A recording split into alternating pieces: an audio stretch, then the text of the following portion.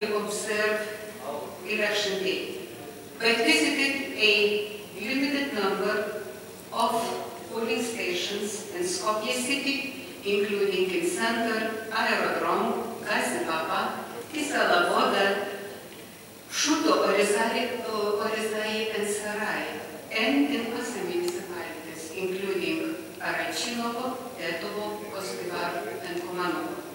We also visited a number of municipal election commissions in And in surrounding regions.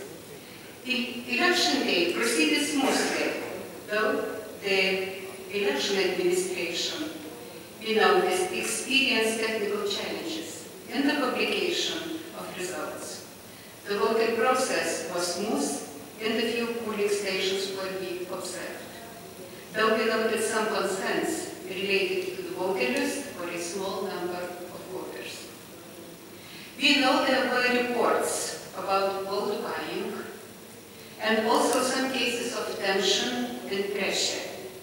As many of those cases are under investigation, we do not preempt the outcome of these uh, investigations, but we will follow closely these developments and the legal.